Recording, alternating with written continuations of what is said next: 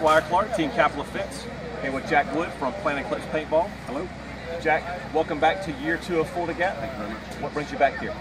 Um, combination things. Uh, number one, you guys, because just fantastic. The way you treat me has been amazing. Last year was unbelievable. I had my own trailer and Kobe Smokes beer, moonshine, which I've never had before. Um, and then obviously the, just the paintball here is amazing. It's like some literally the most enjoyable paintball probably ever played. So des- describe the field for those who haven't played it. Okay, so uh, I'm not sure how many acres it is. Acres? About 70 plus. About 70 acres, okay.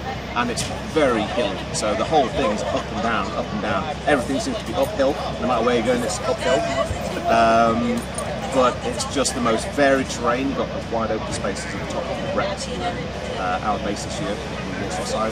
And then you've got the valleys, you've got the, the creeks running down there, you've got uh, all the installations all the way around. And you've got Sim City, which is just like open with buildings. And the whole place is just fantastic. The way I have it set up.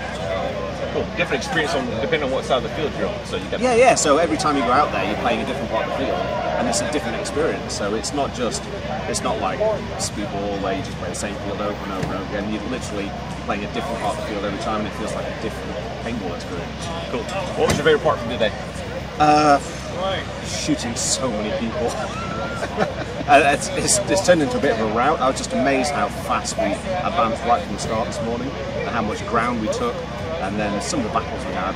Uh, Sim City is just fantastic because it's just like house to house, house to and stuff, and tanks in there firing rockets at the buildings. It's just unbelievable. I, I don't think there's a, I haven't had a favourite bit today. Just the every time I've inserted, it's been right. Let's go and kill some fools now.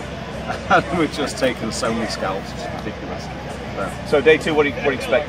uh, more of the same. More of the same. More the same. Take the ground early, pin them back into their base, and just shoot them like it's a turkey shoot.